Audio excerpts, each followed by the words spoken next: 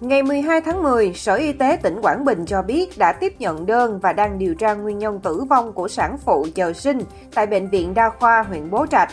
Trước đó, lúc 20 giờ ngày 9 tháng 10, bà Phan Thị Dậu, trú xã Hưng Trạch, huyện Bố Trạch, tỉnh Quảng Bình, đưa con gái 35 tuổi nhập viện tại khoa phụ sản, Bệnh viện Đa khoa huyện Bố Trạch chờ sinh.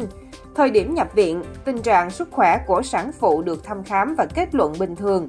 Tuy nhiên, đến 3 giờ sáng ngày 10 tháng 10, sản phụ có một số biểu hiện mệt mỏi, niêm mạc nhợt, huyết áp tụt. Đến 5 giờ 45 phút sáng ngày 10 tháng 10, bệnh viện thông báo thai phụ nguy kịch, cần chuyển lên tuyến trên để cấp cứu.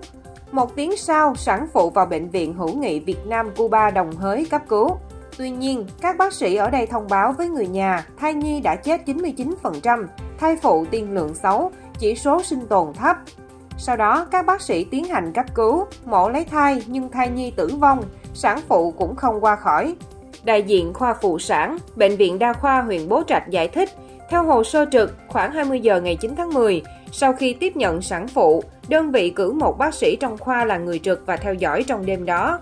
Bác sĩ Dương Thanh Bình, Giám đốc Sở Y tế Quảng Bình cho biết, Sở đã chỉ đạo thanh tra y tế vào cuộc, Cùng với đó, yêu cầu Bệnh viện Đa khoa huyện Bố Trạch báo cáo bằng văn bản, hồ sơ bệnh án đang được niêm phong.